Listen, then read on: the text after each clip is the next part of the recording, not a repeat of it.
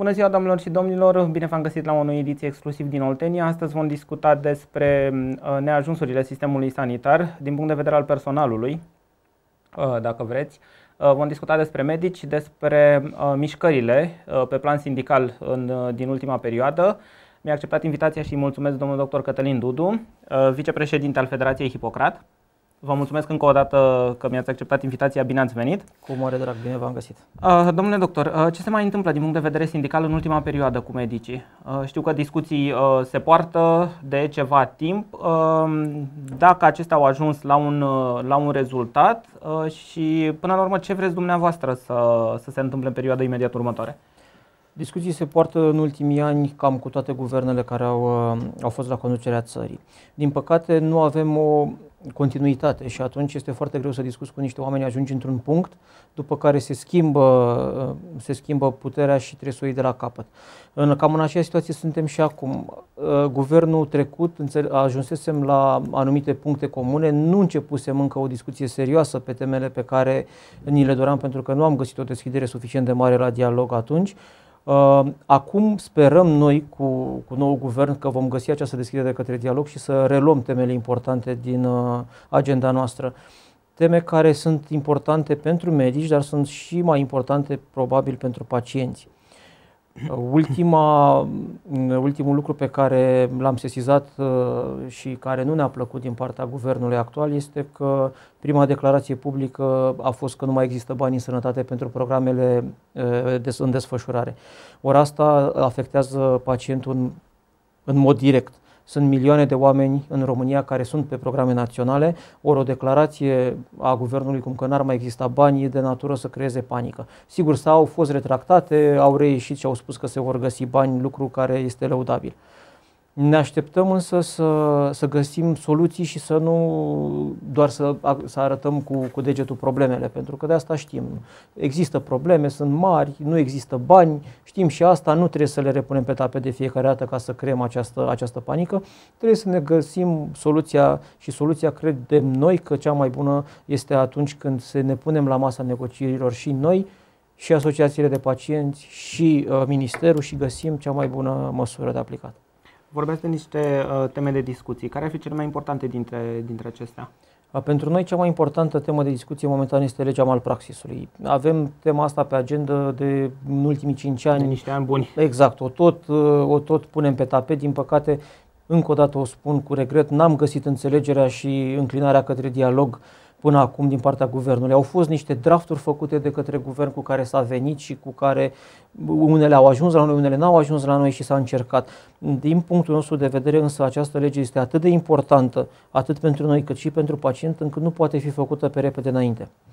Uh, la masa discuțiilor ar trebui să fie atât participanți din partea guvernului, cât și din partea medicilor, cât și din partea pacienților, prin organizațiile de pacienți, dar mai ales și din partea uh, uh asigurărilor, uh, companiilor de asigurări care fac asigurări de malpraxis. În momentul în care se ajunge la o lege care îi mulțumește pe toți, pe toți.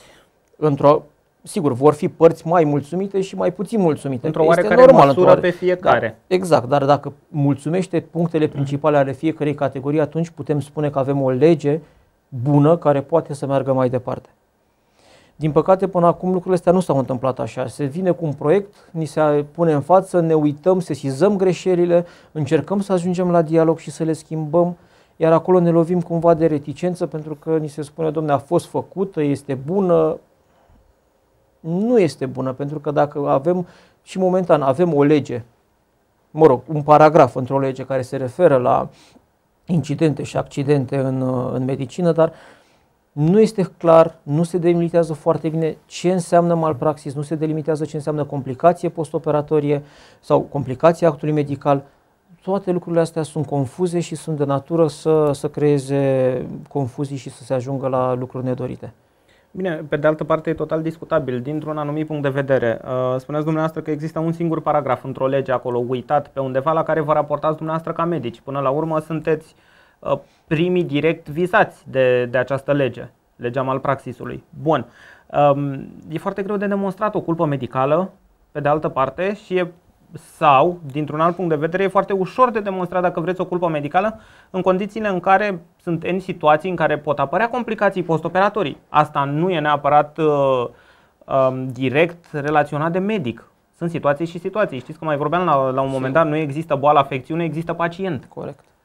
Din păcate... Și atunci, cum lucrați dumneavoastră cu situația asta? Vorbind de o situație actuală, o lege a malpraxisului este o situație ipotetică în acest moment, nu există. Din păcate, da.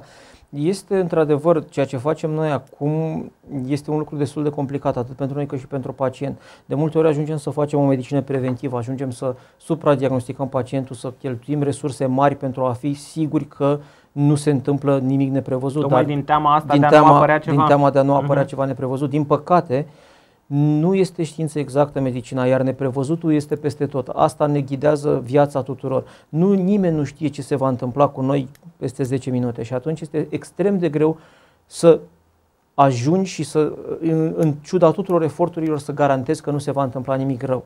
Și avem o multitudine de exemple când au fost condamnări pe marpraxis fără ca din punctul nostru să fie malpraxis. Avem cazul de la Târgu Jiu, unde s-a dat malpraxis pe un uh, accident anafilactic la a cincea administrare de antibiotic. Să mă ierte Dumnezeu, nu poți să știi ce se va întâmpla când administrezi a cincea oară același medicament. N-ar trebui pe să se întâmple parte, nimic. Dacă da. pacientul nu știe că e alergic, dacă păi, nici medicul nu știe. Asta noi facem atunci teste de administrare. Înainte de a administra orice medicament nou se testează. Orice medicament nou. Orice medicament Dacă nou. pacientul dar timp, se tratase cu așa ceva. Asta, din păcate, nu există nicăieri în lume un ghid asupra acestui lucru. Ai dat de patru ori antibioticul respectiv, cel mai probabil nu e alergic, că nu are de ce, l-a, luat, a, l-a primit de patru ori, nu s-a întâmplat nimic. E, la Târgu Jiu, din nefericire, s-a întâmplat a cincea oară. Ca așa s-a întâmplat. Ca așa s-a întâmplat, dar acum de aici și până la spune că medicul este de vină, eu mă întrebam așa retoric la un moment dat de ce nu este producătorul medicamentului de vină. Că până la urmă substanța pe care el a produs-o, a produs accidentul anafilactic. Exact. Uh, dacă ne uităm pe mm, acel, uh, acea, acel bilețel din interiorul medicamentului, o să vedem că la reacții adverse poate să fie trecut și șocul anafilactic. Deci cumva cine, cineva s-a gândit că se poate produce și l-a trecut acolo ca să uh, iasă de sub incidența legii. Dar la medici nu se aplică același lucru. Degeaba explic pacientului că e posibil să se întâmple lucrul ăsta, că dacă se întâmplă, eu sunt acuzabil.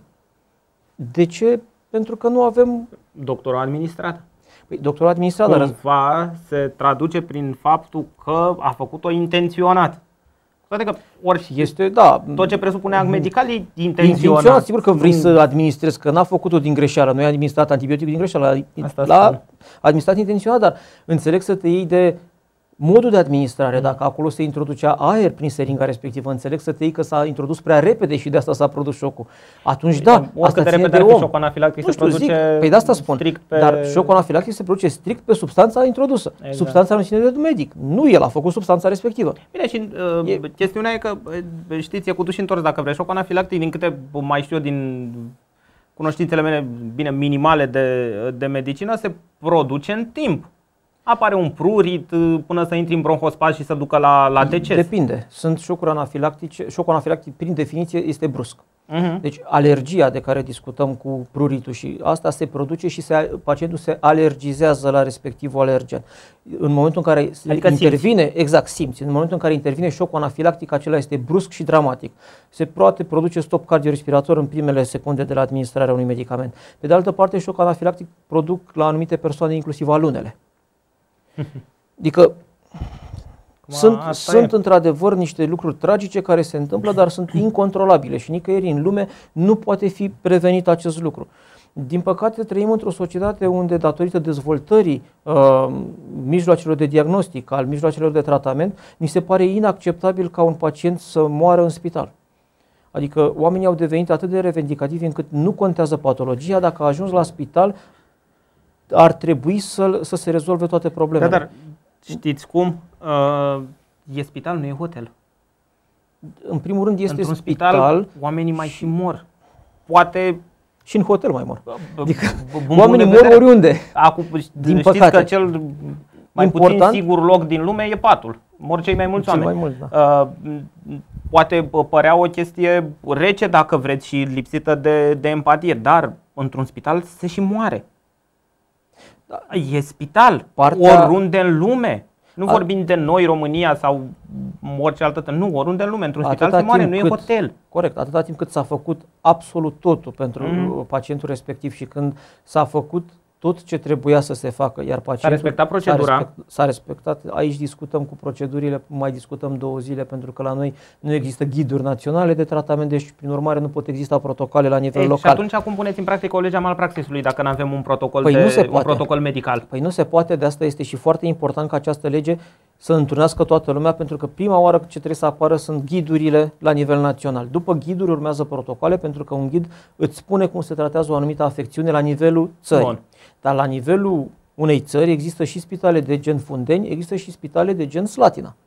Și atunci, sigur că o patologie Situații nu poate fi abordată, diferite. exact, nu poate fi abordată la fel sau și atunci fiecare spital, în funcție de dotările pe care le are, în funcție de medici și pregătirea pe care o au, ă, își fac un protocol terapeutic pe patologia respectivă raportată la ghid, dar merg până la un anumit punct. Și, se, și atunci și pacientul este avantajat pentru că știe mă duc la Slatina pentru, să zicem, mi-e ușor să dau exemple din chirurgie, o litiază uh, uh, coledociană, știu sigur că oamenii din Slatina pot merge până la diagnostic și după, pentru tratament, trebuie să mă trimit într-un spital unde se face IRCP. De un grad superior. De un grad superior. Dacă mă duc direct la Floreasca pentru treaba asta, cu siguranță se va rezolva problema acolo. E bine, Ghidul... ce fi să te trimită de acolo la Slatina, de exemplu? Păi, adică de asta există spitale de grade diferite. Ierarhizarea e destul da, de bine stabilită atunci, deja. Exact, și atunci ghidurile ar pune și o ordine, pentru că ne mai confruntăm și cu alte situații în care noi nu avem, fie nu avem specialitatea necesară în Slatina, cum este neurochirurgia, sau fie o avem, dar nu avem uh, posibilitățile tehnice de a face anumite manevre și atunci pacientul trebuie îndrumat către un alt spital. Și de multe ori ne confruntăm cu situația în care ne este destul de greu să găsim un medic care să accepte pacientul acolo. Ori lucrurile astea, dacă am avea niște ghiduri naționale și toată lumea ar ști unde se oprește competența fiecărui spital, ar fi foarte ușor de făcut o colaborare între spitale. Că n-ar mai exista discuții, dar de ce nu ți-l oprești tu? Păi pentru că depășește, pentru că obligat să-l corect, luați. depășește protocolul meu, Aria mea ghidul spune că voi trebuie să-l luați și atunci e simplu. De-abia atunci când există normalitatea asta în sistem, putem discuta într-adevăr de o lege care să delimiteze clar uh, lucrurile și să creeze cumva o ordine. Practic, în acest moment, raportându-ne la ce, ce spuneați mai devreme, sunteți legați de mâini și de picioare dacă vreți să trimiteți un pacient la București, de exemplu. Uh, depinde că vă puteți de... lovi de situația. Nu avem paturi, nu avem locuri.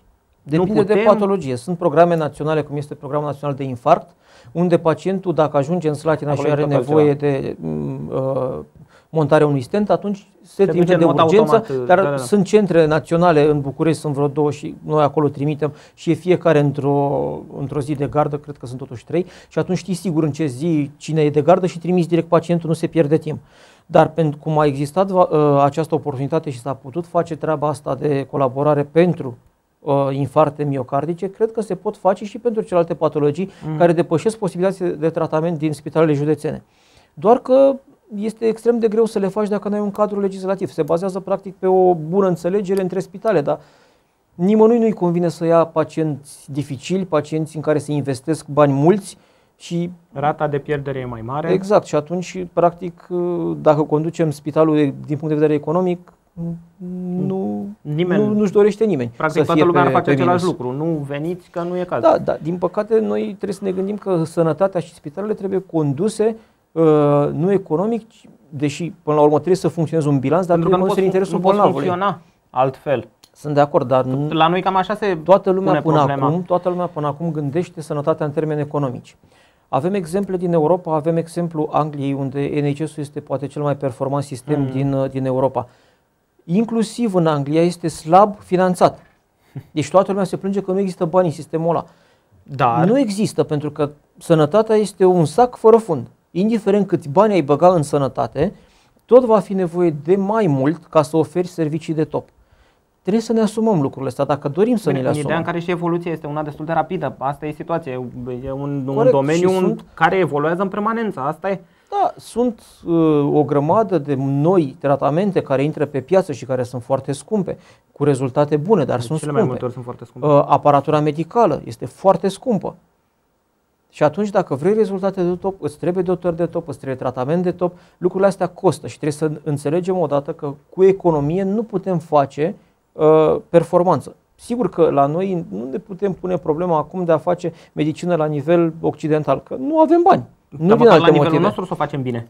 La nivelul nostru, eu cred că o facem destul de bine în condițiile uh, actuale, cu ce posibilități financiare avem. Eu cred că practicăm o medicină comparabilă cu ce se Mm. întâmplă, cu ce se întâmplă afară, încă o dată raportat la ce avem noi financiar. Norocul nostru Da. că avem medici buni. Sunt într-adevăr, marele nostru noroc, sunt, măcar. sunt și medici extrem de buni, dovadă că oameni care pleacă din România ajung să conducă Mm. secții în Occident. Deci, p- din punct de vedere al uh, personalului, stăm foarte bine. Ba chiar avem și de, im- de export, din, uh, din păcate. Că dar, asta uh, e. da, dar uh, sigur că dacă gândim economic și spunem că nu mai sunt bani, atunci putem să ieșim și să explicăm că asta e situația și e acceptabil să se întâmple și anumite tragedii, că nu mai sunt bani. Nu putem să investim în pacient. Da, dar încă o Pentru dată, că mă, mă gândeam acum că tot am deschis discuția asta și despre ce înseamnă costuri per uh, pacient și așa mai departe, bine, per caz rezolvat în cazul dumneavoastră. Uh, Mă gândeam la um, unitatea de stroke pe care o Da. avem și noi din fericire aici din la Slatina. fericire, exact. Um, Vorbeam cu domnul doctor Enică Diaconescu de câțiva ani de situația asta și de-abia acum de câteva luni avem unitatea aia de stroke. Pentru că Și- nu erau bani. Pentru că nu Pentru un erau lucru- bani și unitatea de stroc, că trebuie să fim sinceri și să, să-i recunoaștem meritele domnului senator, că dacă dânsul nu era acum uh, la putere și nu reușea să facă Tot nu se treaba asta, făcea. nu se făcea. Nu se făcea. Nu se făcea și atunci la, si- la nivelul ăsta suntem. Sunt de acord că nu sunt bani suficienți pentru tot ce ne dorim. Și atunci ce se întâmplă la noi este cam ce se întâmplă peste tot. Dacă ai pe cineva care trage pentru mă, societate și pentru uh, zona din care, din care provine, atunci e ok. Reușești să aduci niște fonduri, reușești să faci. Noi, din fericire, am fost avantajați în, în Slatina. Deci, în ultimii ani s-au făcut investiții masive în spital. Lucrurile nu stau așa la nivel de țară. Exact asta vreau să Nu peste tot se întâmplă Nu așa. sunt așa deloc. Din nefericire, că putem spune din nefericire, noi suntem caz izolat. Așa este. Din fericire Așa pentru este. noi, pentru Din toți ferici- oltenii. Da, din fericire pentru noi, Dar din nefericire pentru ceilalți suntem caz izolat. așa este. Uh, De asta oamenii trebuie să știe că spitalul din Slatina la momentul ăsta este foarte bine dotat. Raportat la celelalte spitale din România, suntem foarte bine dotați ca tehnică, Din ca toate punctele de aparatură, vedere. ca și cazare, ca masă, Personal ca orice, medical, ca personal s-a angajat, servicii medicale, s-au angajat orice. exact personal calificat, oameni care merită să vină și oameni de calitate, inclusiv la nivel de asistent medical, Implicați. inclusiv la medic, oameni implicați. Eu cred că s-a și văzut o schimbare în ultimii ani în, uh, În mod cert. noi am văzut-o la adresabilitate. Sunt mult mai mulți pacienți care, care se adresează spitalului cu încredere. Și foarte mulți pacienți din Dolj, Vâlcea, Pe lângă Foarte asta, că, mulți. exact, vin pacienți din Foarte afară mulți. pentru că uh, condițiile oferite în Slatina sunt mai, mai bune. Și până la urmă era logic să se întâmple așa. Știți, acum ceva ani uh, migrația era dinspre Slatina către Craiova. Acum polul s-a mutat un pic dinspre Craiova nu poate către, decât să ne bucure lucrul către ăsta și Slatina. noi chiar, Mhm. uh, chiar pentru asta luptăm, de asta am venit aici să facem lucrurile foarte bine și să punem toți umorul, pentru că dacă nu te implici, cu siguranță lucrurile nu vor merge. Iar în momentul în care ajungi într-un loc, din punctul meu de vedere, trebuie să faci tot ce ține de tine ca să devii cel mai bun, să devii implicat și să alături de colegi și să formezi o echipă care să, să creeze rezultate. Știți cum e? Ca și un medicament bun, un doctor bun nu are nevoie de reclamă. Da, Cam așa ar fi. reclamă, exact, nu, nu se pune problema, cel puțin nu pe la nivel de sistem Mm. uh, sanitar de Asta stat. Spun. Până la În urmă, privat, bine, dar da, privat e altă privat e altă, situație altă și situație. atunci Dar la noi, da, reclama este practic cazul pacientul rezolvat care merge acasă și mai spune încă la 2-3 vecini că a fost foarte mulțumit și atunci uite, m-am tratat acolo, uite ce s-a exact, întâmplat. lucrurile se Mhm. schimbă, oamenii vin, sunt mulțumiți și asta, asta ne bucură cel mai mult. Um, referitor la legea pe care dumneavoastră vă doriți de ceva ani, am mai discutat noi prima dată când Da. discutăm despre ea, legea malpraxisului. O viitoare lege, deocamdată nu avem nici măcar un proiect, dar o lege. Um, sunt situații în care uh, procedura, din câte o știu eu, uh, ajunge situația la cazul la Colegiul Medicilor.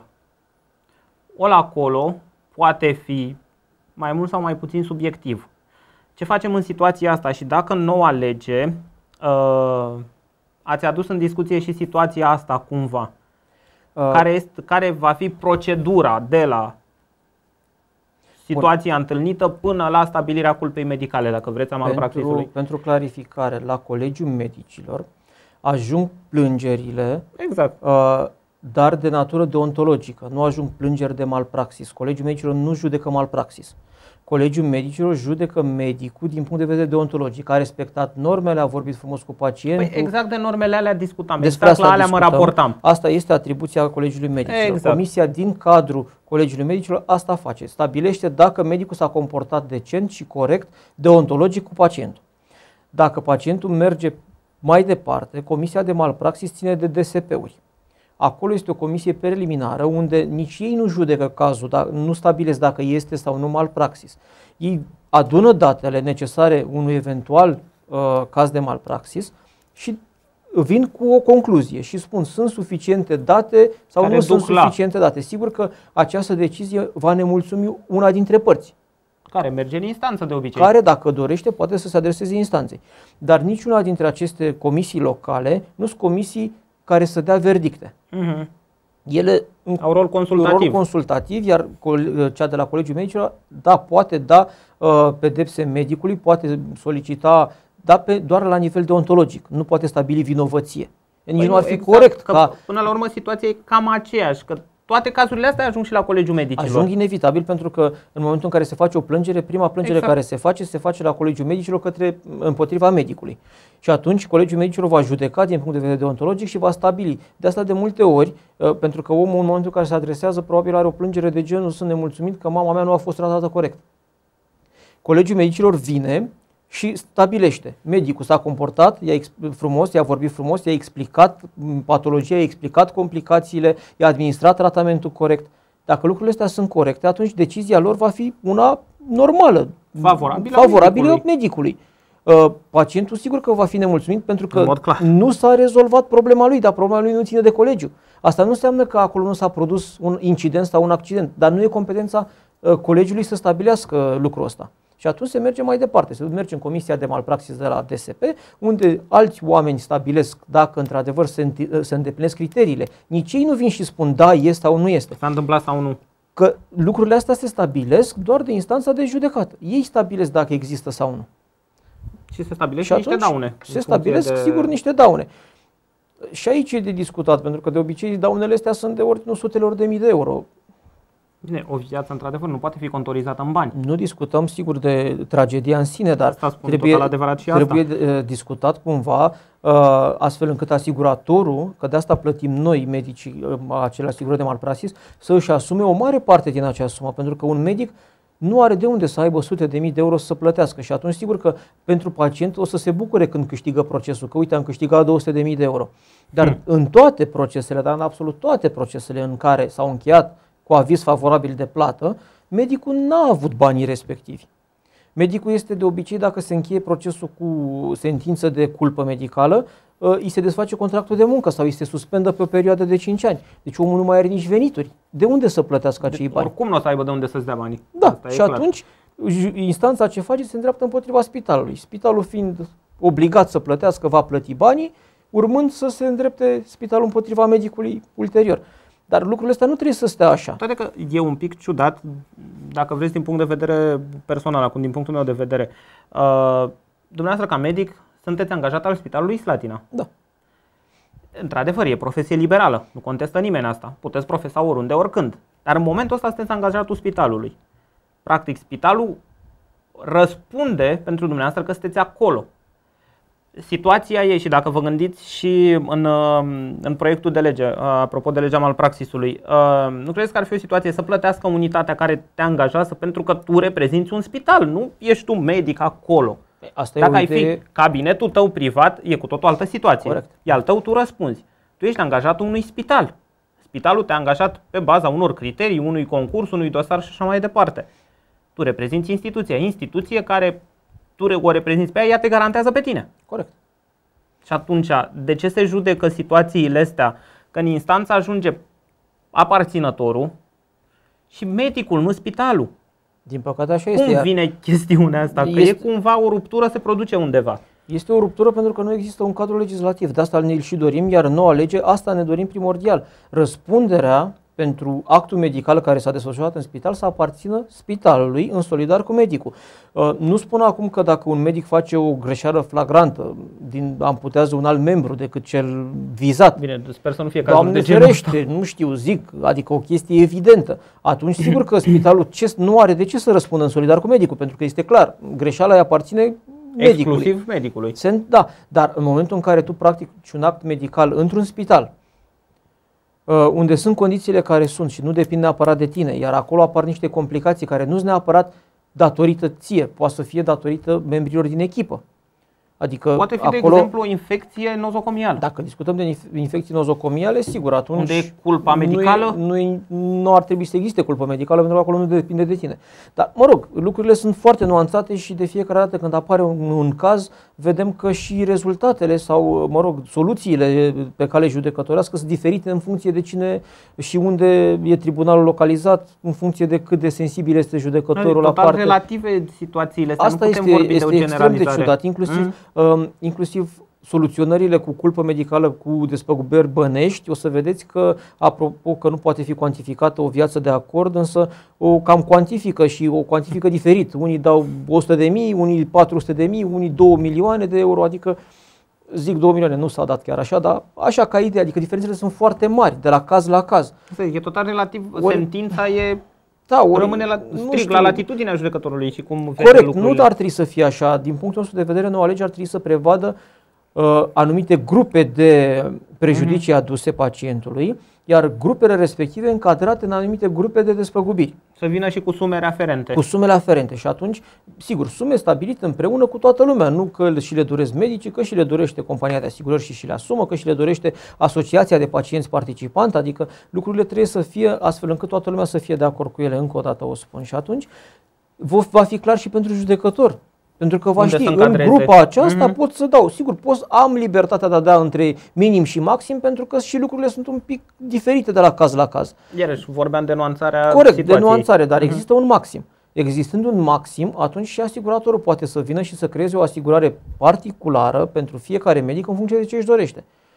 Că- Bine, sunt specializările diferite. Uh, Sunt. Chirurgie e una, orele e alta și așa mai departe. Da, Că sunt dar- specializările chirurgicale și non-chirurgicale. Atâta timp cât noi nu avem Culpa medicală e un pic diferită aici.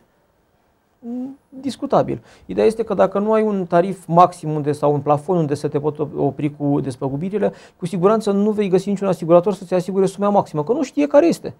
Nu se poate cât să-ți ceară o primă de, de se poate asigurare cuantifica- ca să, exact, ca să Mm. îți zică că la un moment dat poți să-ți plătească cât. Dacă ar exista acest uh, plafon maxim, atunci ar fi mult mai simplu, pentru că ți-ar putea spune de la început. Avem pachete de asigurări, cum sunt și pe la, uh, în, în alte situații și atunci mergi până la pachetul de 100.000 de euro, te costă 200 de euro pe an asigurarea de Asigurarea. malpraxis. Vrei pachet de 200.000 de euro, te costă 500 de euro. Și tot și așa. atunci, sigur, tu hotărăști ce îți dorești și ce poți să faci. Și asta cred că este cea mai corectă variantă.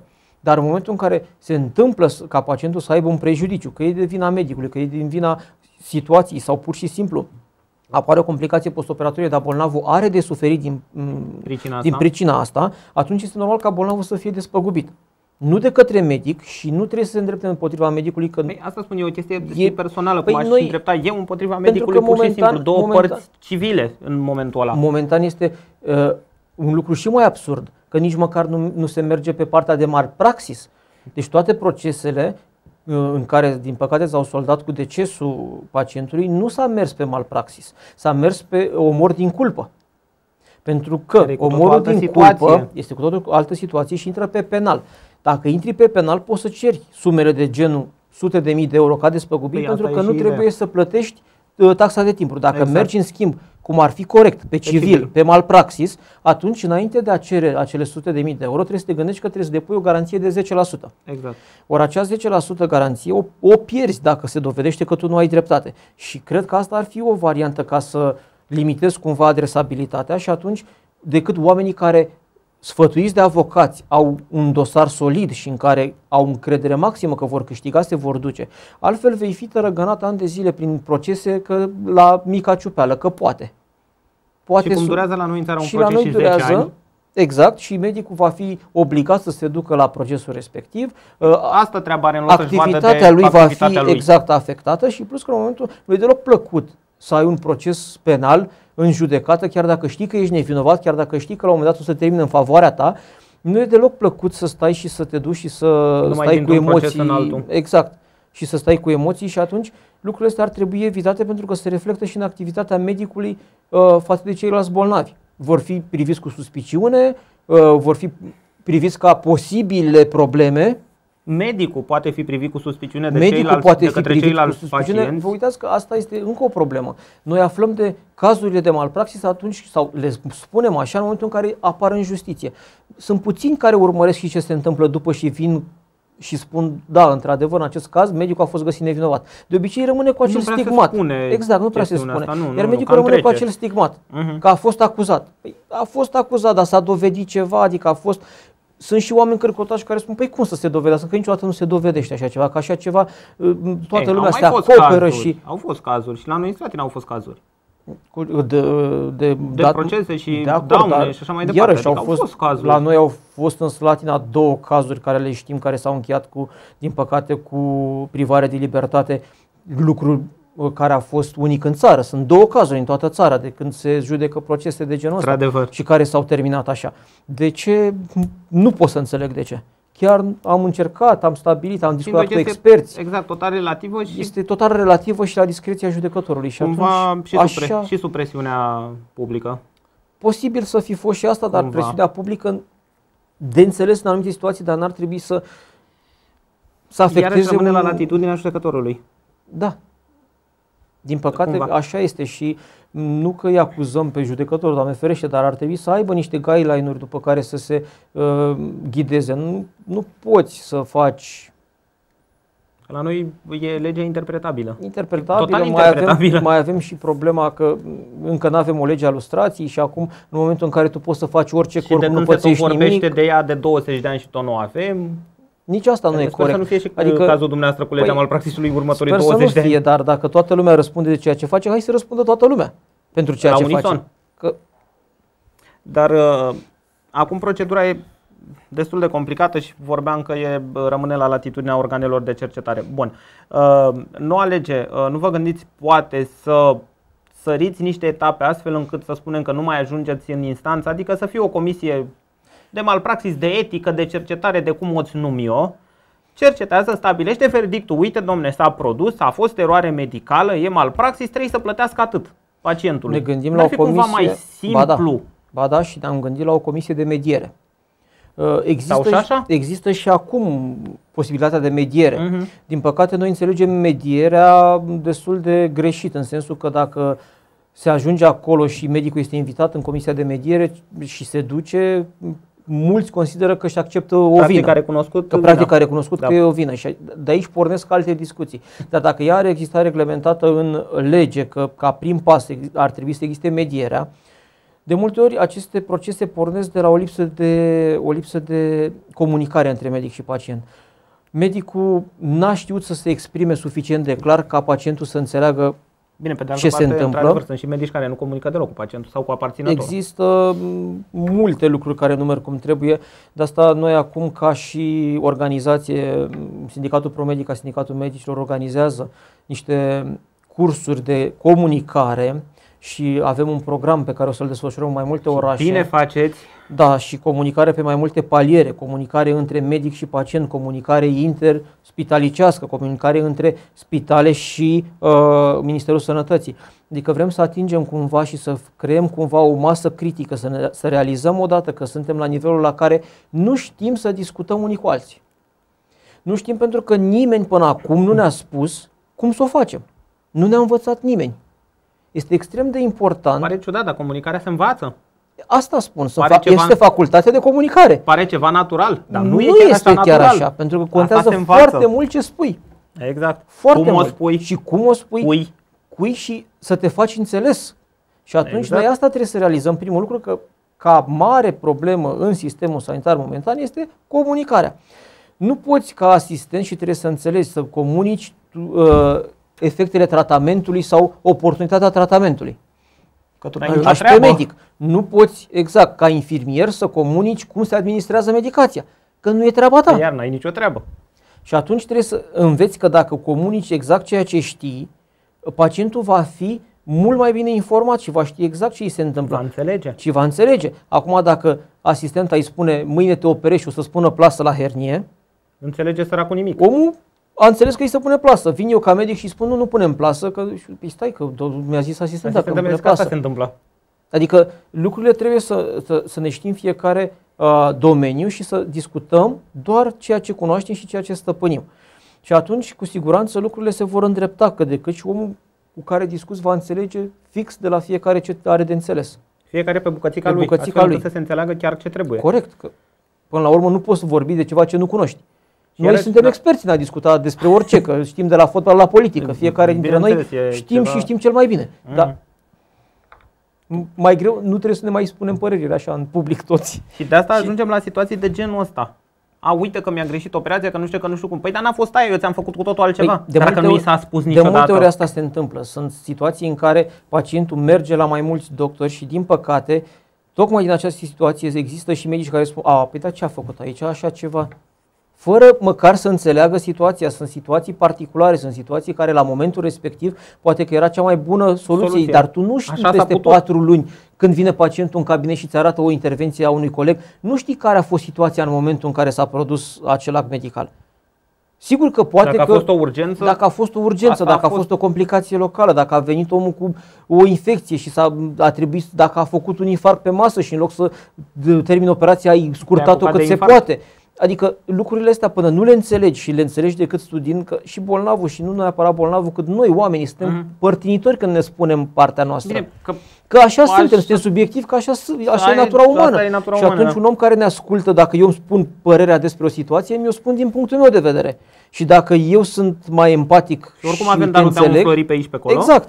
Cu siguranță îl voi învinovăți pe cel cu care te-ai certat. Clar. Dacă îl ascult și pe el, s-ar putea să-mi schimb părerea. De asta este extrem de important să fii foarte reținut în ceea ce comunici și să comunici decât dacă știi sigur și ai toate datele. Asta e valabil în viață peste În tot, orice, domeniu, da. nu Din vorbim strict de păcate, medicină. nu se aplică. Dar aici e Dar comunicarea aici- medic-pacient, e cu atât Dar mai, aici e cu atât uh, mai importantă. mai importantă. Cu atât mai importantă pentru că de la o simplă și o banală situație în care vorbești cu un pacient și chiar o grimasă făcută la un moment dat, că "A, ce a făcut aici, fără să înțelegi, de văzând decât niște Pacientului se hârtii. pare că cine Sunt- știe ce s-a sunt, întâmplat. Sunt situații că s-au mai întâlnit, din nefericire, dar se întâmplă, în care biletul de externare, fiind completat de un medic rezident, intervine o greșeală. Descris. Adică o o, las așa, nici măcar poate nu observă. Iar în momentul da, în care nu eu iau uh, biletul de ieșire cu care vine bolnavul și văd a avut patologia respectivă, s-a făcut asta. Te uiți, băi, cum s-a făcut asta? Că e clar o greșeală, nu avea cum să se facă de fapt, treaba asta. în Dar situația dacă, aia nu exact, se dacă poate. te apuci și spui bolnav, nu știu, domne, aici ți-a greșit operația. Asta, ex- asta îmi place cel mai mult. Nu știu, domne, e greșit aici. Ce să înțeleagă omul ăla? Că omul ăla va greși că cine a făcut, a făcut greșit.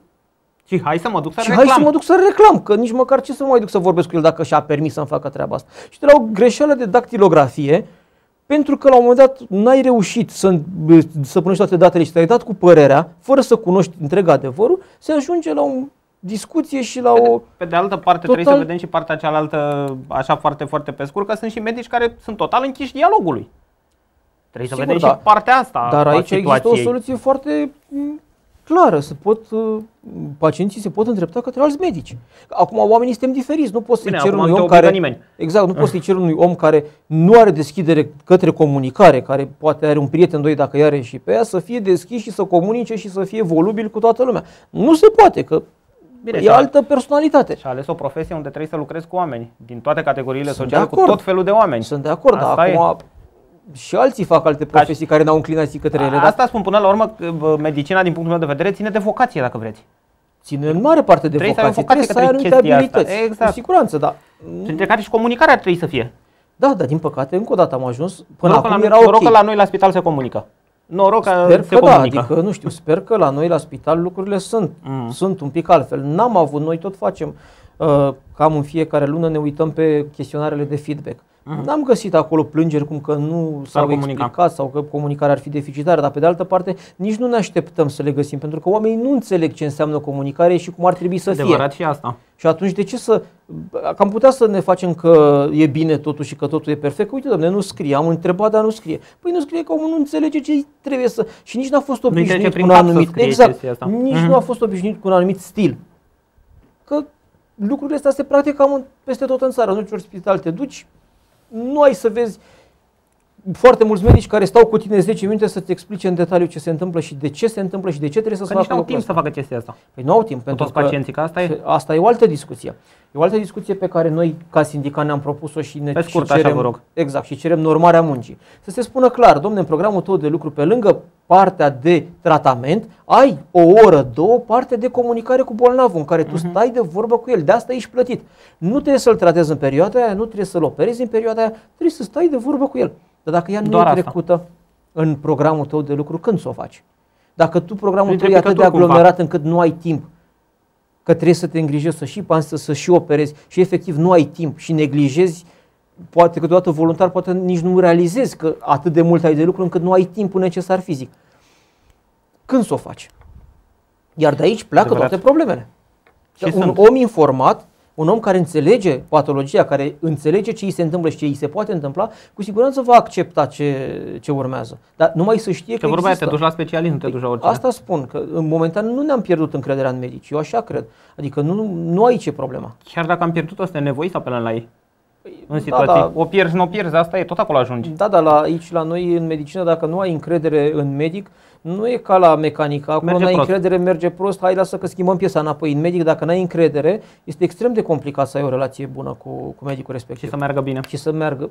Bine, poate că merge, dar vei- tot vei avea psihic disconfortul Nemulțumirea acela, aia. nemulțumirea aia, că nu, de asta zic, încrederea pentru noi este extrem de importantă, să inspiri încredere, să oferi încredere și pe asta mergi până la urmă în sănătate, pe încrederea că medicul îți dorește binele membrului să din facă familie ce mai și bine al pentru tău și tine. vrea să facă ce mai bine pentru tine. Domnule doctor, vă mulțumesc pentru prezența dumneavoastră astăzi alături de mine. Ce pot să vă urez decât succes Mulțumesc mult! în uh, ce vreți să întreprindeți, în special în legea malpraxisului, care până la urmă ne interesează și ne afectează pe noi, toți. Asta e, Pe da. dumneavoastră ca medici, spitalele și pe noi ca pacienți. Vă mulțumesc încă o dată. Doamnelor și domnilor, vă mulțumesc și dumneavoastră că și astăzi timp de aproape o oră ați ales să fiți alături de noi. Vă dau întâlnire la o nouă ediție exclusiv din Oltenia săptămâna viitoare. La revedere, o după amiază minunată în continuare.